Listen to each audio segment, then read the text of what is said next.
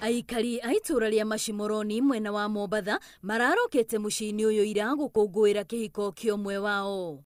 Igongona rĩrĩ rĩgĩthiaga na mbere andũ matanyihĩire atandatũ mararũgamĩte irima-inĩ rĩrĩ rĩrĩa nĩ rĩa buti itanyihĩire mĩrongo kenda na ithano. No igongona rĩkĩrĩkĩrĩra andũ maraigua mbuya andũ marete ũteithio kuma irima-inĩ rĩu. Harusi ilikuwa mtaani tu, watoto wote walikuwa wameenda huko, watoto wa mtaani wote walikuwa wameenda huko.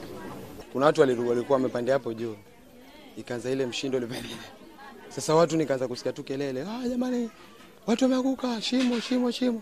aria marekinyĩte igongona-inĩ rĩu makiuga andå acio maraikarĩte hau ihinda-inĩ rĩa mathaa maingä na gũtirĩ uronete dalili cia kũhanĩka kwa mũtino ta ũcio. Kuna mwenye angeweza kunoti, sababu watu wamekaa hapo mpaka dakika ya mwisho, watu wamekula hapo, watu wamefanya mambo yao hapo mpaka dakika ya mwisho, bibi harusi akaondoka, ndio watu wakaporomoka ndani.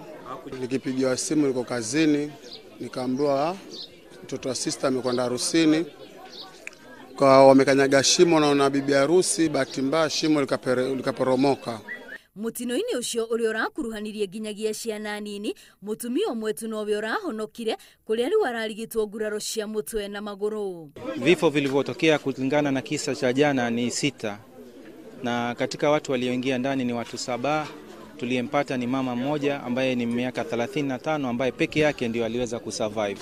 ona kuri uguo ni mamenereirie honge cia guthaitira mitino mwena ũcio makiuga ũcio nĩ mũtino ũngĩrathaitĩirwo angikorwo ni marahiukire riria maramenyithirio ngiribotera inoro tv ritwa rĩakwa ni wambui wa macaria